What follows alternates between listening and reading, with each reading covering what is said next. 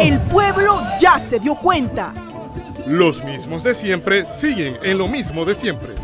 Continúa la corrupción, la impunidad, el nepotismo y las medidas antipopulares. Alcemos nuestra voz. Por una asamblea constituyente originaria. Vamos al Parque Porras el jueves 19 de septiembre, 4 de la tarde. Marcha del Pueblo Unido.